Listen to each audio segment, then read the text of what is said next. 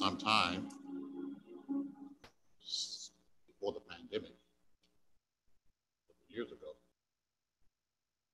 We stood behind this sacred desk. Thank your pastor for the invitation to do so. Thank God to be home.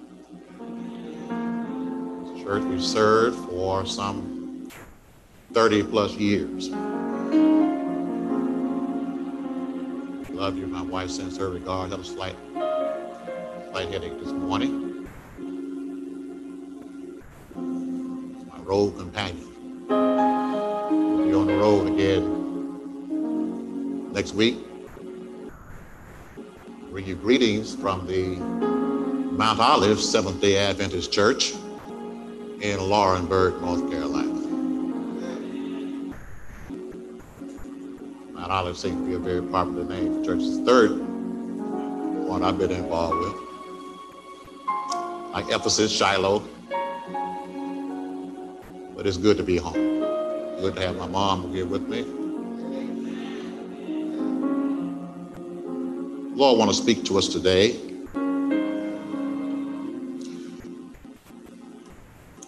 You know, in the church, there are several groups tend to stand out.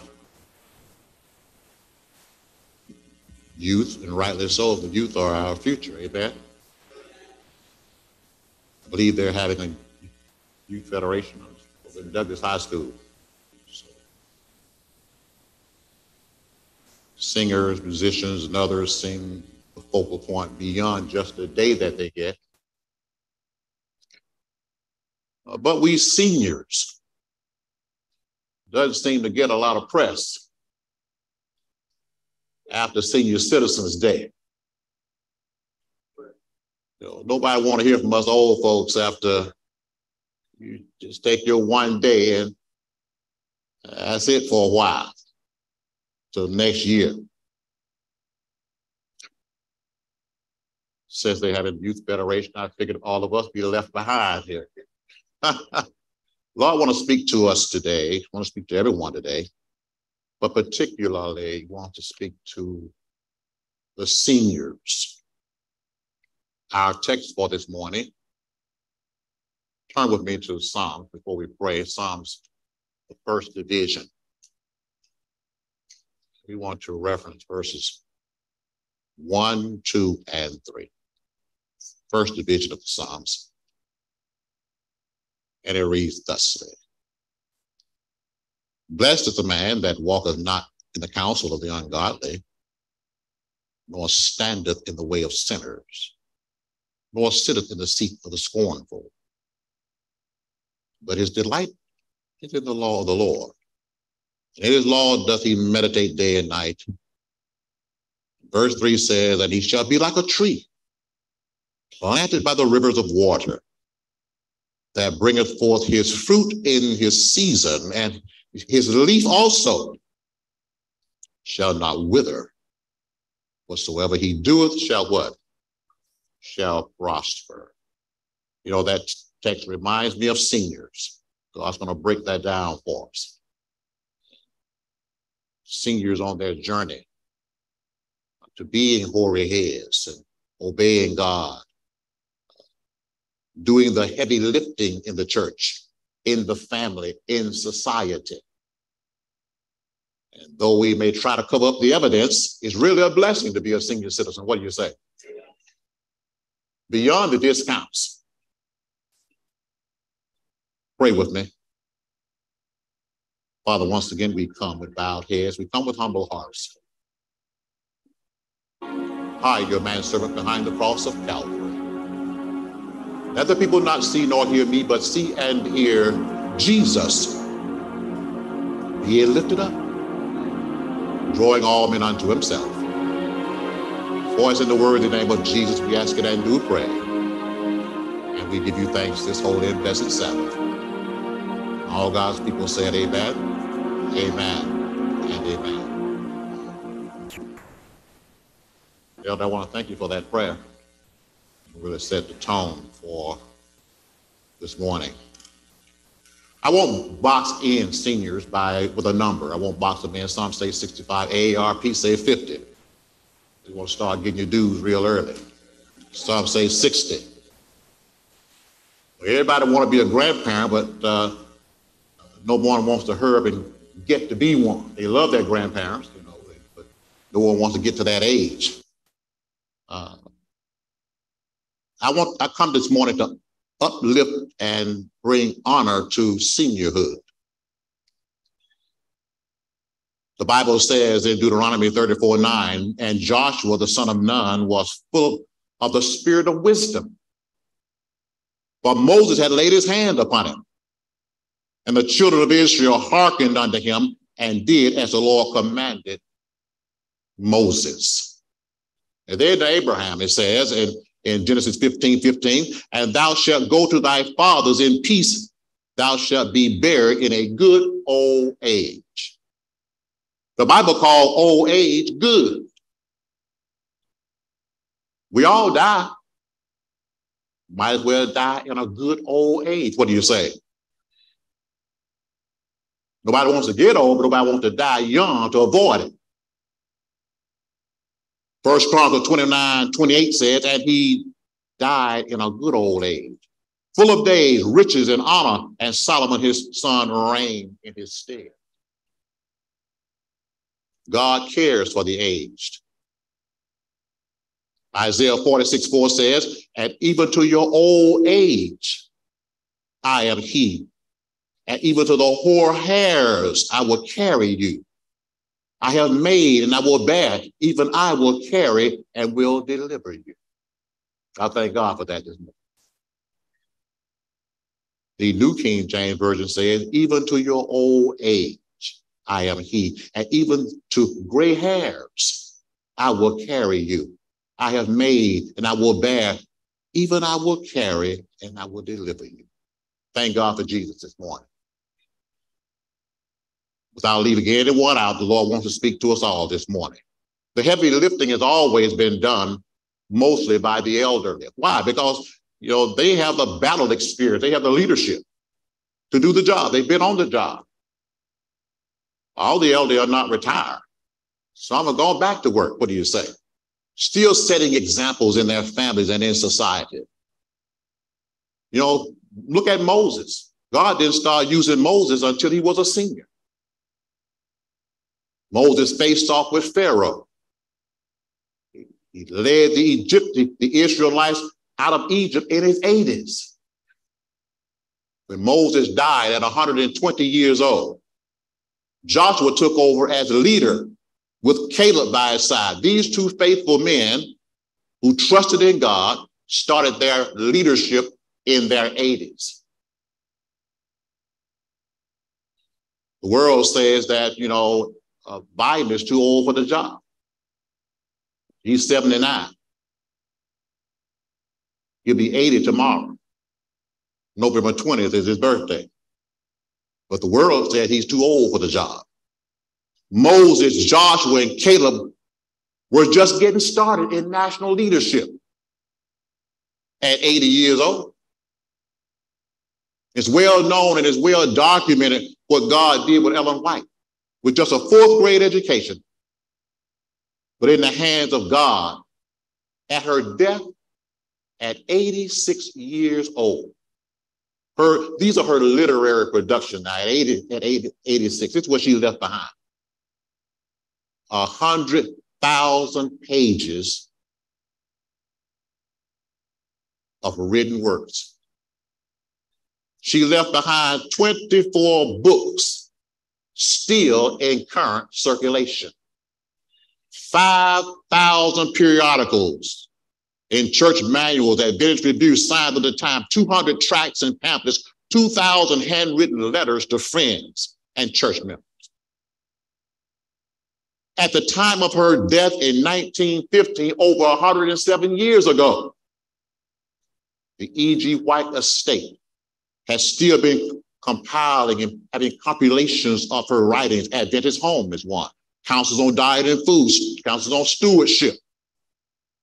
For a total of 130 books currently in print in 2022. This is what God can do at any age if we turn our lives over to Him. What do you say? It's good to be a senior, but it's better to be a senior in good health. What do you say? The Apostle John said, Beloved, I wish above all things that thou mayest prosper and be what? In health, even as thy soul prospers. Third John 2. But the question must come, why, why did he say above all things?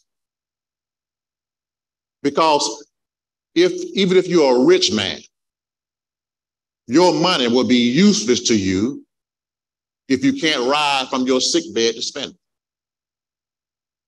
it. Health is very important. Even Steve Jobs, you know, he was a, a very rich man. But before he died, you know what he said? He said, it won't do me no good to be the richest man in the cemetery.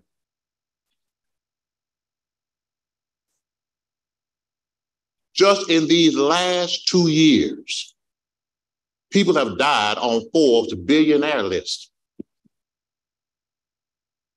who lived into their 80s and 90s. One of them, take this for instance, in terms of having good health and knowing what to do with our funds that God gives to us. A gentleman by the name of Sheldon Adelson, he was a casino kingpin. He died with $29 billion in assets. 29 billion. Do you know how tall a billion dollars is if you stack it up? If you took a billion one dollar bills, just stack them up, going up, do you know how far it would rise? A billion dollars stacked will go 67 miles into the air. Do you know what, what man considers outer space? International distance for outer space is 62 miles. You five miles into outer space. With your $1 billion stacked up. The man left 29 billion. If you took $29 billion and stacked them up and pushed them over from here, Let's say, let's say just let's say Atlanta. $29 billion. That's what the man had. $29 billion, stack them up and push them over, going westward. Do you know how far you can go walking on money and never have to step on the ground? You can go to Las Vegas, Nevada, and never step on the ground. Stack, not lengthwise, edge to edge, stacked up. That's the kind of money the man left when he left here. It's good to be, you know, reach a good old age. It's good to have funds, but God shows us what to do with those funds. What do you say? There's no ATMs in the graveyard. The grave is where you go to make deposits. We don't make no withdrawals in the graveyard until the second coming. What do you say? That's why John said, above all things, he wished above all things that we may prosper and be in health. James 4 14 says, But what is your life? It is even a vapor that appears for a little time. And then what? It vanishes away. You know, he gave a very good example. You know, when you go outside on a cool morning like this morning was earlier, and you just blow a vapor, it shows just for a moment, doesn't it? And then it disappears. James said that's that's where your life is. And those precious text applies to anyone. Even the youth aren't here for long. So surely us seniors, we know how to number our days. Moses said in Psalm 90, 12, verse 12, a psalm of Moses, not of David. It says, teach us to number our days. Or value what little time we have left and spend it glorifying God and helping others. What do you say? Today, we're certainly blessed to reach 80 years of, of age. But God's ideal for us was no death at all. Even after sin, the biblical record shows that the man's average age after sin now was 912 years. You take all the patriarchs from Adam, go all the way down to Noah, before man was allowed to start eating meat, and average their ages, is averages out to 912 years on the average. Enoch received what God intended for all humanity eternal life. What do you say? Adam enjoyed good health and lived for nine generations. What was Adam doing for those nine generations? Spirit of prophecy tells us in Patriarchs and Prophets, page 82. Listen to what she says about Adam. Because he lived 930 years or something like that, I believe. She says, for nearly a thousand years, Adam lived among men. He had been commanded to instruct his children or his posterity in the way of the Lord. And he carefully treasured what God had revealed to him and repeated to his succeeding generations, to his children and children's children, to the ninth generation.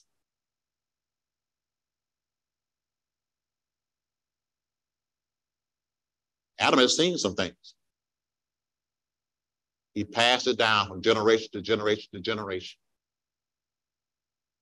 Adam died just prior to, I mean, one very minute he had seen up to the flood. Lamech, Noah, just short of them. But most of the other generations saw Adam lie. They had no excuse for the antediluvian world, the mindset that they had. God, you got a man here that has no navel. Where do you think he came from? Adam was still alive when Methuselah was born. He was 687 years old when Methuselah was born. And he wouldn't die for another 243 years at the age of 930. Methuselah worked and preached uh, for 969 years. What about seniors now? We just get we get 80 and we figure why we finish. Methuselah worked and preached for 900. This is what Spirit of Prophecy says in Spiritual Gifts, page 65 and 70. This is what she says about Methuselah. Methuselah, the son of Enoch. Enoch, Enoch was his dad. The one that was translated out of here. The son of Enoch listened to the preaching of his grandson, Noah. Noah's, Noah's father was Lamech. Methuselah was Noah's grandfather. Methuselah listened to Noah and assisted him in building the ark. Can you believe that? And joined Noah in preaching. Preaching. Noah wasn't just preaching by himself. His grandfather, Methuselah, joined in his preaching. Noah and his family were not alone in fearing and obeying God. Methuselah, the grandfather of Noah, lived until the very year of the flood. Right up to the flood. Methuselah died just prior to the rain Preaching and assisting in building the ark right alongside Noah. God's word will not return void. Methuselah's journey, like Adam, was completed as a senior, well over 900 years, preaching and building. You know, they say, you know, they say black men won't go to the doctor. My mother, he tell the folks at the Senior Citizen Center, she told me, she told, she said, I'm my son. He go to the doctor every time he feels something. And I do, I refuse to pay insurance premiums and not use the doctor. I don't know when I'm gonna check out of here, but I know one thing. They won't be telling me, Mr. Reed, we could have saved you if you had come in a little bit early. They, they, they won't be telling me that. Every time I feel something, I'm up in there. Don't, they, when they see me, they say, well, Mr. Reed, every, everybody had that. You know, try, try to say, well, you try to tell me, well, you're old. Old folks get aches and pains, all right? Doctor, check this out. Well, everybody get that, Mr. Reed. Well, well, well, as long as you clear that up with everybody got I'm fine. so you check it out first. we dispel that thing about black folks don't go to black men don't go to the doctor. No, no.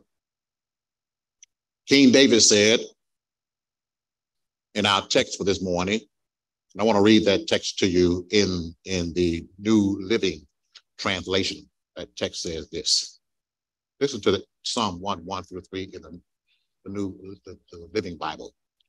David says this Oh, the joy of those who do not follow evil men's advice, who do not hang around with sinners, scoffing at the things of God. But they delight in doing everything God wants them to do. And day and night are always meditating on his laws and thinking about ways to follow him more closely. They are like trees along a riverbank, bearing luscious fruit each season without fail. Their leaves shall never wither. All they do shall prosper. You know, Christ often used things in nature to make scripture an object lesson. A tree is an excellent object lesson in nature because everyone's familiar with the tree. We're familiar with them. They've been around since the third day of creation. Amen. Genesis 1, uh, verses 12 and 13 says this about trees.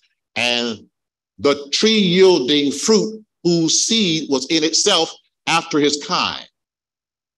And God saw that it was good, and the evening and the morning was the third day. Tree been around since the third day. And I like to climb trees when I was a boy. And I went to my hometown recently. I've been there all the time because my mother's there. But one day I went by and saw a tree that I used to climb as a boy. Some 50 years ago. We talk about a half a century since I was up in that tree. But the tree is still there. Trees remind me of singers, longevity, trees are like seniors in, in that they live a long time. The oldest man to live, as we know, was Methuselah. 969 years according to Genesis 5:27. And one of the oldest trees alive today is ironically named the Methuselah tree. It's a bristlecone pine tree out in White Pine, out in uh, White Mountain, California. How old is the Methuselah tree? Now, scientists have looked at the tree for years and they have dated it at 4,553 years old. Now, that's some other trees that had been here older than the Methuselah tree, but they cut them down. But they've dated the Methuselah tree. You know, that means that this tree started germinating in the 29th century BC. It's a testament to the power of God to sustain. This tree started germinating in 2832 BC. Now, let's put that in perspective. Before the Great Pyramids and the Sphinx of Giza, Egypt, the Methuselah tree in California was a tree, sprouted up. Before Joseph went to Egypt as a slave, there was a tree in California that was alive. It was a great tree when David sat down and wrote the very psalm that we use for our text today. There's a tree in California that was alive when David sat down and wrote it. When Daniel and the Hebrew boy went captive in Babylon in 605 BC, the Methuselah tree was alive, a great tree. When Christ was born in 4 BC, there's a tree in California that's alive today. That's 4,800 years old. If the scientists know what they're talking about. They've been going all over, they're combing it for years. Empires have risen and fallen, but the Methuselah tree still stands alive, a living, visible witness as to the power of God to sustain and create life. Trees grow all their lives. The rule of a tree is grow or die. There's no such thing as a tree that just stack. You know, seniors grow all our lives. There's a sanctification process, but grow in grace and in the knowledge of our Lord and Savior Jesus Christ. To him be glory both now and forevermore. Second Peter 3:18. We have a sanctification of growth. Trees like seniors are productive. How so, Brother Elder? We get maple syrup from trees. We get almond milk, coconut milk from trees. I thought I might get a amen or two from the almond milk drinkers. Rubber for your cars come from trees. Your house come from a tree. Your bed, your kitchen table in all likelihood comes from a tree. Trees are like seniors. They are contributors. Trees clean carbon dioxide out of the air. Trees are necessary for pollution. That's why cities have ordinances that won't allow you to cut them down. Trees put water, moisture back into the air. You know, the Amazon rainforest has its own climate, and the moisture that causes rain comes right back out of the trees, and they're cutting the trees down left and right, miles of square miles of it every day. That's why climate warming is a real thing. Man is causing it. Trees prevent mudslides from coming down on villages. Trees are on a journey of life as soon as the seed hits the ground. A tree is obedient to God, and a tree grows only what God says grow. I've never seen an apple tree with oranges on it. Unless it was a prank. At creation, God used a tree to test man to see if he would be loyal to God and obey him. Genesis 2 16 and 17 says, And the Lord God commanded the man, saying, Of every tree of the garden thou mayest freely eat. Amen. But of the tree of the knowledge of good and evil thou shalt not eat of it, for in the day that thou eatest thereof, thou shalt surely die. God used a tree at creation. Created a tree, trees, third day. Created man at the end of that creation week and used a tree to test him to see if he would be loyal to him. During the flood of Noah's day, God used a tree to save Noah and his family. God used a tree to save all mankind, we came from those. The ark was made of gopher wood, and it was waterproof with pitch. Then God said, pitch it. What is pitch? Mm-hmm.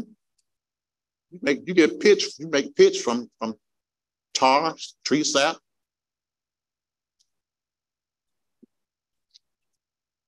You ever heard it's pitch dark? You see that tar they put on the road out there? That stuff is black as black as get. So folks, it's pitch dark out here. I can't see a thing. God said, pitch the ark Waterproof it. King David says in the Psalms, the first division, that in a special way, you can be like a tree, an obedient tree in the hands of God, but only if you not listen to the counsel of sinners. The secular world is not, not, not, not spending time with God. You're going to be like that tree. You got to be obedient to God. You got to spend time with God to be this tree that David is talking about. Secular world isn't interested in that. You know, I often wonder why in this Laodicean age, it's so hard to get people to come to church and bring their children with them. Hmm? Everything is free. Food is free. We don't charge when we have food, do we? Music is free. But to our invitation, people are always too busy. But I, but but listen, look at look at this this contrast. People always busy, always got something to do when you send out an invitation to come. But I look back in February of this year. The Super Bowl church had no problem getting folks to come to worship. Hmm? The worship committee they look for the largest venue they can find. In fact, they tore down a stadium here in Atlanta, perfectly in good condition. Tore it down, moved the church out of the way, bought the church down the street, and built a brand new place. So they could get up. They could have a Super Bowl worship. Hmm? So they look for the biggest venue, the biggest temple they can find. And they always pack the house. Look how many chairs we got.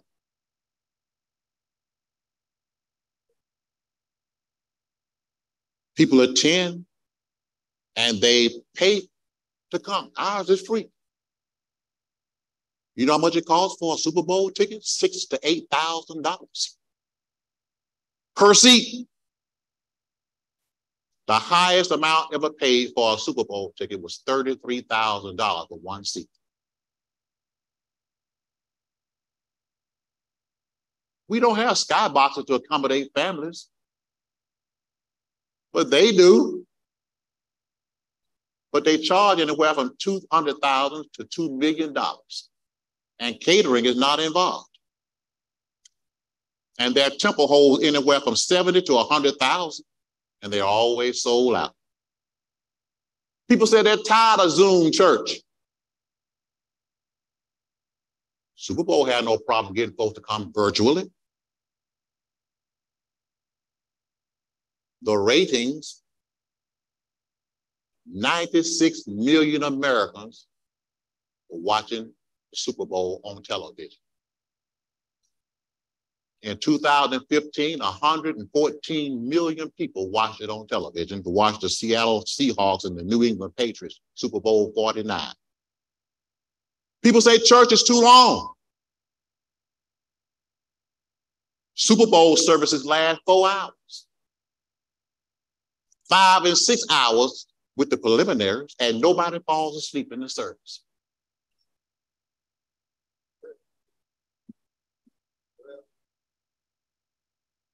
I know some toes will start sliding back up under the pews on that.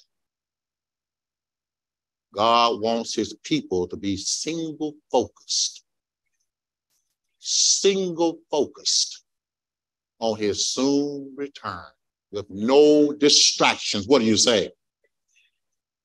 We can idolize anything. He doesn't want us idolizing anything. He wants us to be what? Like a tree. He says, Oh, the joy of those who do not follow evil men's advice, who do not hang around with sinners scoffing at the things of God, but they delight in doing everything God wants them to do. And day and night, always meditating on his law and thinking about ways to follow him more closely, not mocking the things of God, but studying at the feet of Jesus God allowed a pandemic to come, which slowed the world down. But the question always comes, how did we use the pandemic time? Did we study to show ourselves approved unto God, to be like a tree? Or did we worship in the temple of the sports temples and all these kinds of things? Where, where were we during the pandemic time?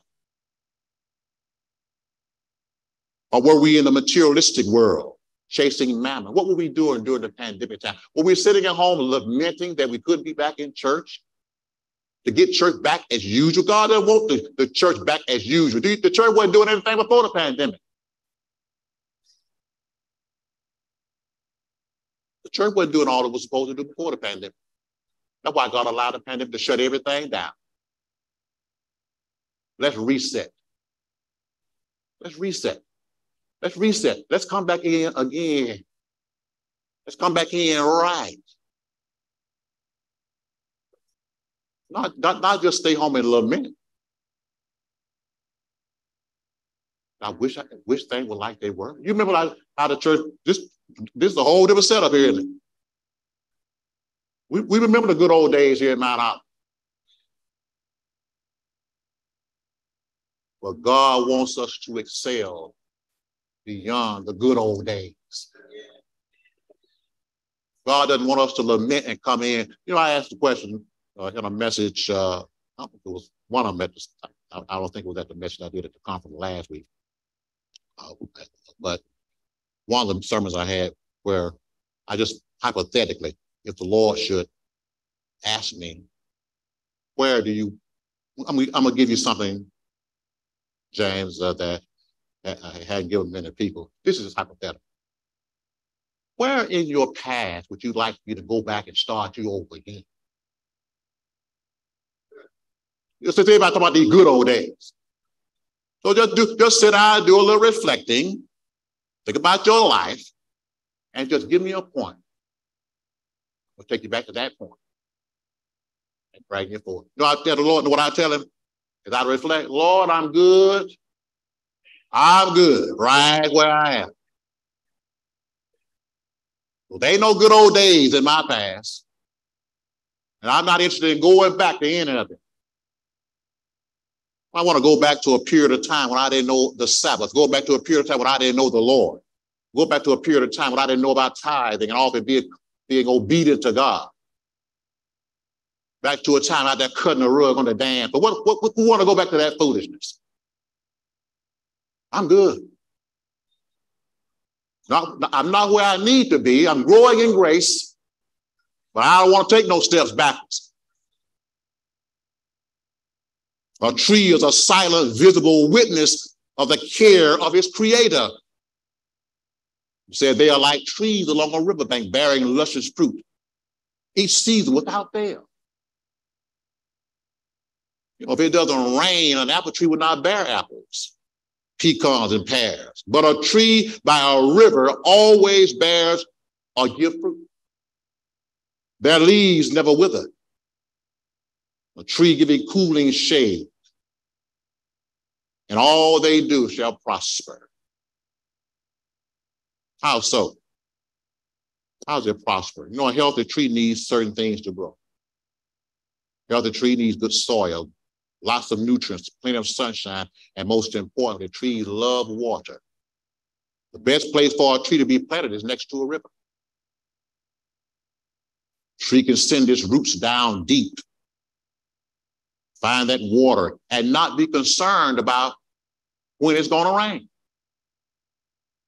You, you plant a tree, the Methuselah trees in California, it's, it's concerned about rain, even though it's lived for a thousand years. But a tree next to a river ain't worried about no rain. They ain't worried about no drought.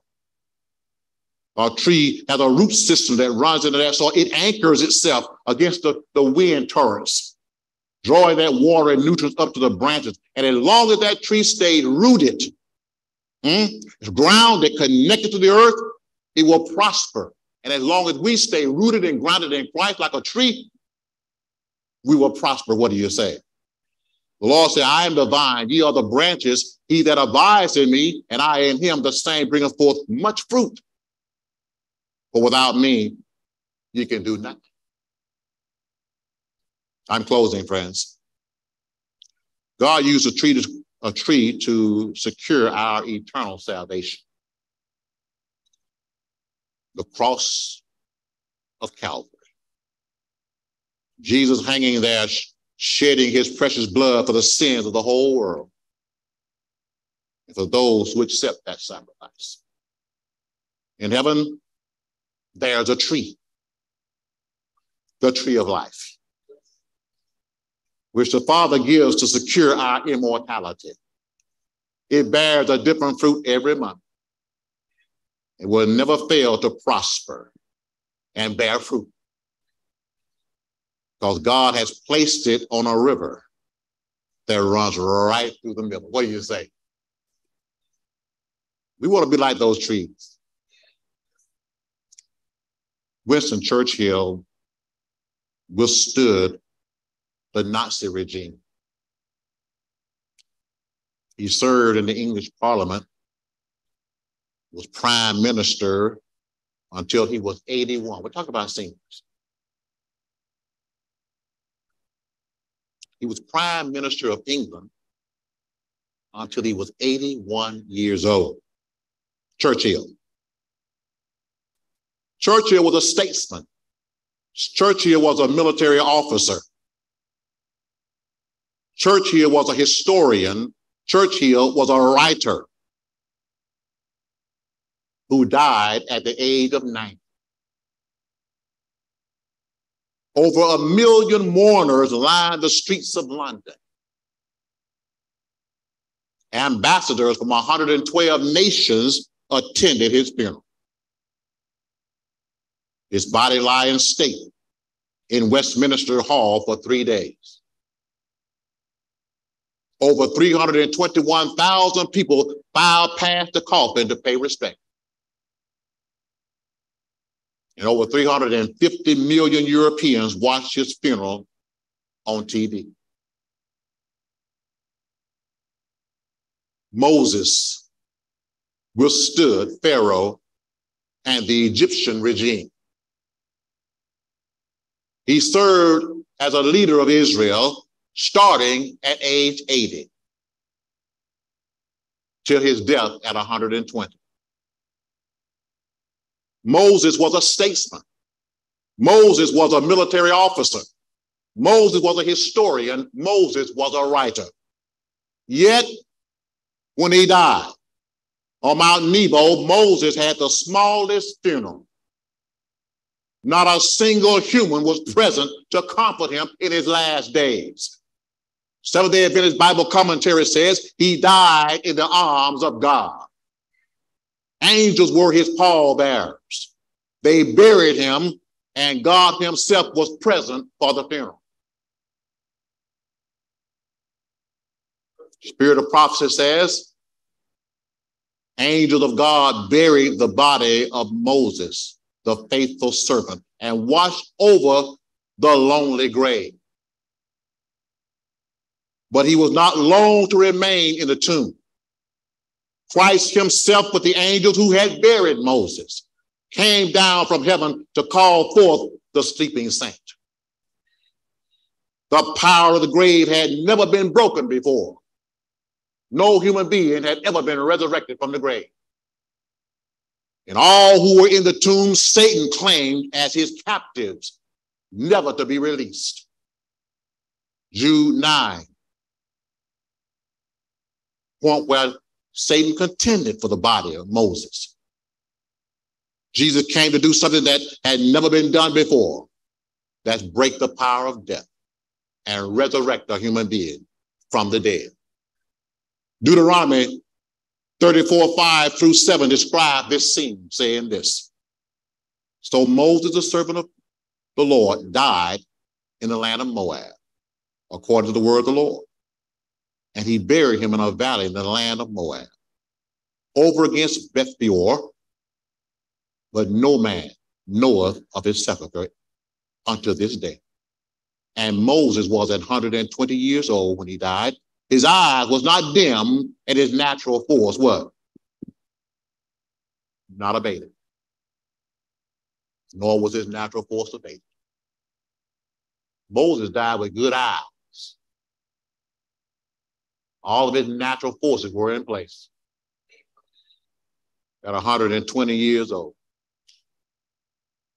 The spirit of prophecy says that God concealed the grave site of Moses to prevent the people from committing idolatry by setting up an altar at the site and started and start to worship.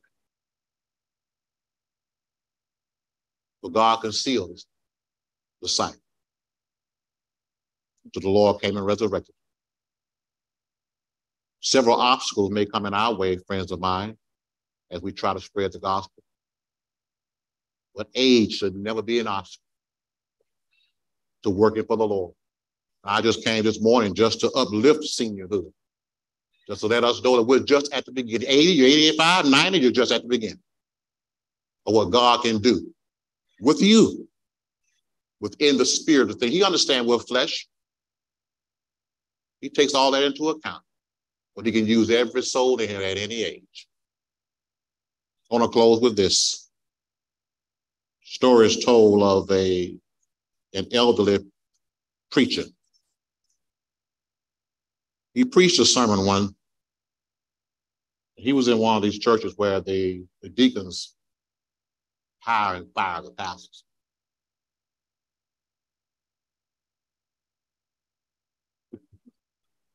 He preached a sermon, aged pastor. At the conclusion of that sermon, one of the deacons came up to him and said, uh, I think it's time for a change. we appreciate the service that you've rendered over the years, but it's pretty obvious that uh, we need to change out. So we'll be we'll be having a meeting and we'll we'll be moving on. Said it right after the service. The aged pastor's countenance fell and his heart was broken at these words realizing he had much more to offer the Lord. As the deacon walked off, there was a little boy standing behind the deacon, waiting for his turn to come up and talk to the pastor after the message had concluded. Standing, standing just out outside, and as the deacon walked off, the little boy came up. He had been listening to the sermon very intently. Said, Pastor, do you think if I be a good boy, I could someday be a preacher?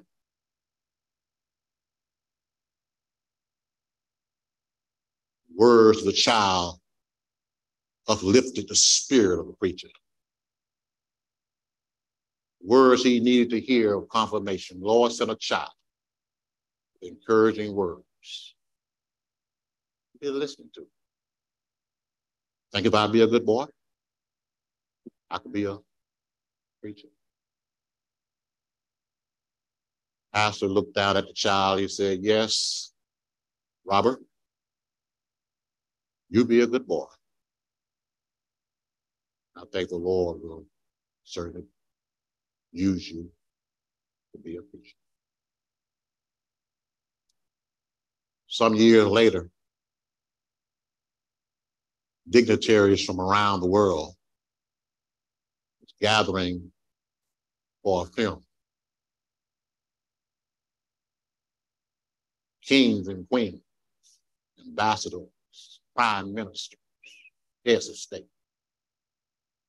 for this world renowned evangelist who had worked all through Africa as a missionary saving souls throughout the entire continent and the world. His name was Robert Moffat. Look him up.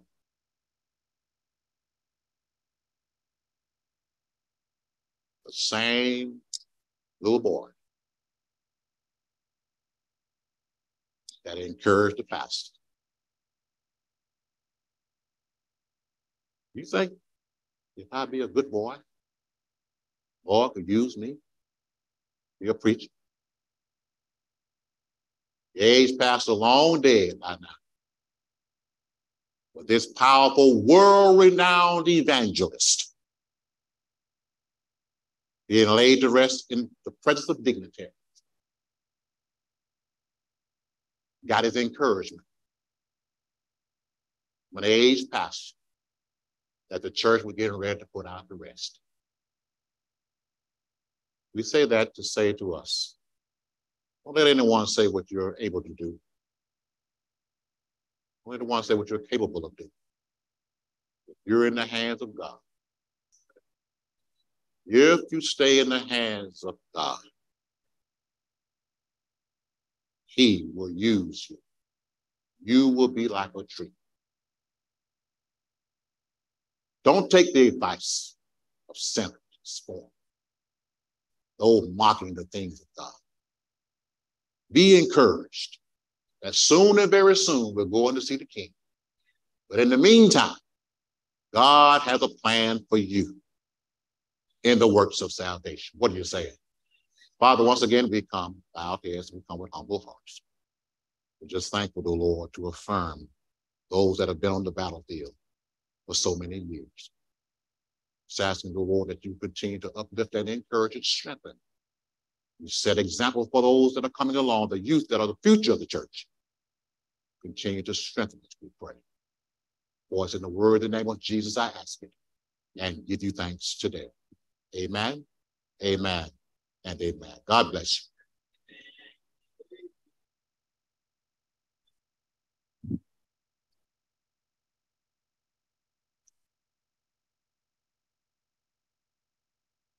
Church, say amen. Amen. Yes, what a mighty word from God through his servant today. Thank you, Elder Reed, for bringing such a message for us.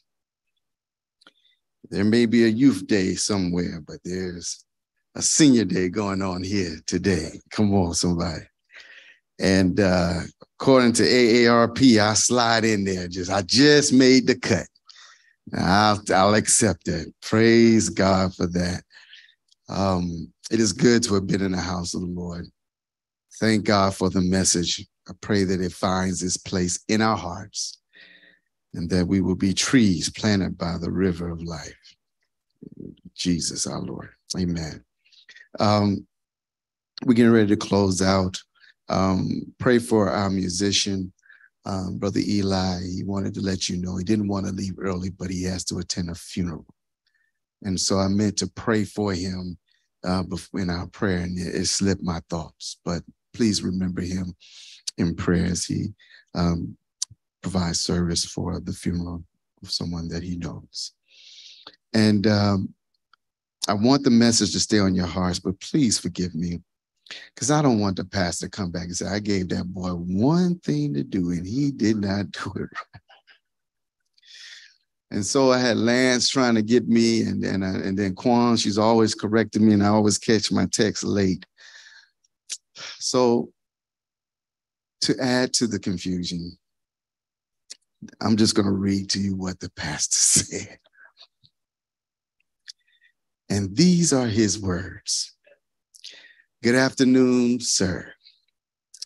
I will be traveling to campground for the executive committee meeting tomorrow evening and Sunday.